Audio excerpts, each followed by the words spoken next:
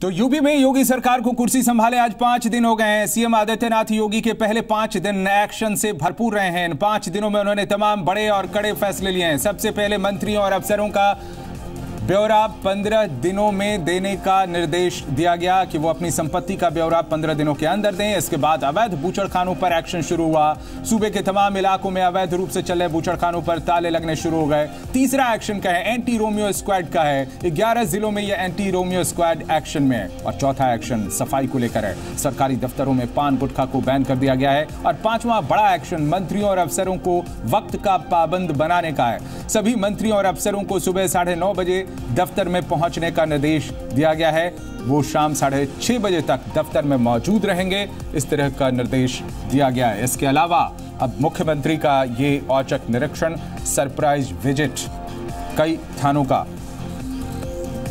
तो लखनऊ के हजरतगंज थाने पहुँचे और उसके बाद एक दूसरे थाने का भी निरीक्षण किया। वहाँ क्या कुछ कहा योगी आदित्यनाथ ने यह भी हम आपको सुनाएँगे।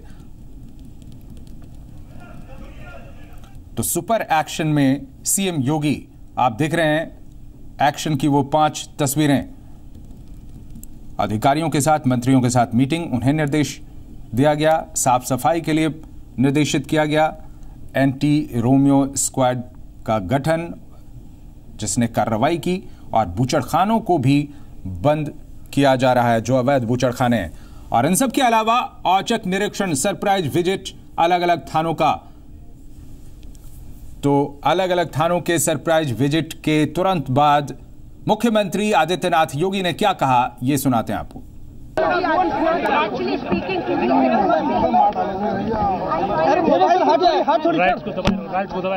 मैडम मोबाइल दिखा दिए। मत करो ये। ये लो मोबाइल भी है। ये लो सब। वहाँ से संचालित होती हैं सर। हर ज़िले को साठ सत्तर पचास गाड़ियाँ हमने ले रखी हैं। उनकी व्यवस्था जो है वो ज़िले की जो पुलिस की व्यवस्था है उससे भिन्न और अलग है। ठीक है। जी सर नंबर एक सर। नहीं क्या ये पुलिस जो S P S S P हैं उनके अंतर्गत नहीं उनके अंतर्गत है। वो दिन में कहाँ काम करेंगी किधर जाएँगी ये तो वो तय करते हैं। हाँ। लेकिन उनको कहाँ भेजना है कौन आता है? है वहाँ पे नियुक्त है क्या करता वो किसके अंतर्गत किसके अंदर कहाँ से वो आया है उसको वो ज़िले से ही आया ज़िले से ज़िले फोर्स से ही दिया गया ज़िले से फोर्स दिया गया है। ज़िले से फोर्स दे करके उसको ट्रेनिंग दी गई है हाँ। ट्रेनिंग दे करके उन गाड़ियों में उनको बिठाया गया है। प्रभावी ढंग से काम कर रही हैं। हैं। लखनऊ में कितनी ऐसी है हंड्रेड नंबर की कब्बा sixty four sixty three sir उसके बाद सात और बढ़ हाँ गए सेवेंटी सेवेंटी व्यवस्था लागू करेंगे? मुख्यमंत्री किस तरह से आपने देखा है? यहाँ पे? क्या आपने? उत्तर प्रदेश के अंदर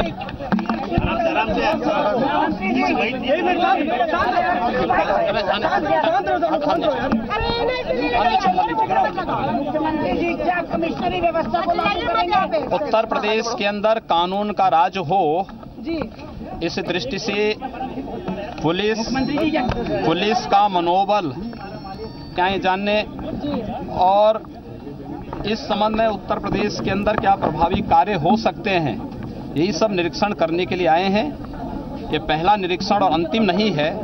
एक शुरुआत है। आप देखेंगे हर स्तर पर एक सुधार दिखाई देगा और उत्तर प्रदेश के अंदर कानून का राज लागू होगा। उत्तर प्रदेश के अंदर जो भी आवश्यक होगा उत्तर प्रदेश की जनता के हित में हम लोग वह कदम उठाने में हिचकेंगे नहीं। सीएम क्या से कानून व्यवस्था को दुरुस्त करने के लिए और लखनऊ से हमारे संवाददाता नीरज मिश्र हमारे साथ हैं। नीरज, जो कुछ कहा मुख्यमंत्री ने, ये हम सबने सुना। आप वहाँ रिपोर्टिंग कर रहे हैं। वहाँ हजरतगंज थाने का उन्होंने निरीक्षण किया। इसके बाद और किन थानों का निरीक्षण किया? क्या कुछ हुआ वहाँ जब निरीक्षण के लिए पहुँचे? सीएम आदित्यनाथ योगी। जी देखिए, योगी आदित्यनाथ सीएम साहब जैसे ही आने की सूचना मिली, पूरे थाने में हड़कम मच गया और 10 मिनट पहले ही वहाँ साफ़ सफ़ाई और काफ़ी अव्यवस्था थी, वहाँ काफ़ी गंदगी देखने को मिली। उसके पहले तुरंत साफ़ सफ़ाई शुरू हो गई, सभी कमरों की जाले साफ़ करने लगे पुलिसकर्मी और जैसे ही योगी आदित्यनाथ जी जैसे अंदर आए, उन्होंने एक एक कमरे का निरीक्षण किया, फाइलें देखी और सीएम साहब ने जो वहाँ पे मुंशी होता है, उससे भी फ़ाइल ली और उसे भी देखा। उसके बाद वो जो महिलाओं का रहने का कमरा है वहाँ जो हॉस्टल बने हैं उनको भी देखा। क्राइम सेल में गए और साइबर साइल का जो साइबर क्राइम सेल है उसका भी खास तौर से निरीक्षण किया और वहाँ पे तमाम पुलिस अधिकारियों से पूछताछ की। तो कुल मिला के ये कहें कि सीएम साहब अब पूरी तरह से अपने एक्शन रूप में आ गए हैं और जैसे वो जाने जाते हैं और कानून व्यवस्था को जिस तरह से उन्होंने चुस्त दुरुस्त करने का वादा किया है उसका आज पहला एक्शन देखने को मिला। सारे थाने में पूरा हड़कम मचा रहा और बात करें अगर हजरतगंज थाने की तो यहाँ स्थिति आज काफ़ी वो थी कि काफ़ी पुलिसकर्मी डरे हुए थे तमाम आला अधिकारी और यहाँ तक कि डीजीपी भी साथ थे। अब ये खबर है कि और भी थानों में जा सकते हैं लेकिन अब वो बता के नहीं जाएँगे अचानक ही वहाँ पहुँचेंगे और उसके बाद वो वहाँ की सही स्थिति देखेंगे कि आखिर यहाँ पे किस तरह से कार्रवाई हो रही है। नीरज जो कुछ कहा वहाँ पर सीएम ने उसमें साफ़ तौर पर यह संदेश था कि पुलिस का मनोबल बढ़ाए जाने की ज़रूरत है यानी किसी को डरने या चिंता करने की ज़रूरत नहीं है इस तरह के औचक निरीक्षण से।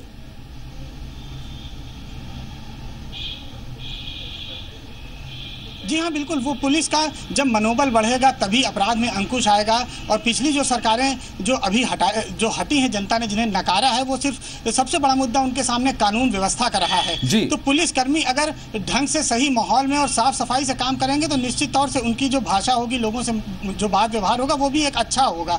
तो ये सब भी देखने को मिला। इस चीज़ के भी निर्देश सीएम साहब ने दिए हैं वहाँ। शुक्रिया आपका। जानकारी देने के लिए नीरज।